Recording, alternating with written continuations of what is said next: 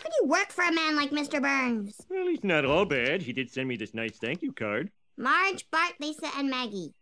Dad, this doesn't have your name on it. Kids, won't you step outside for a second?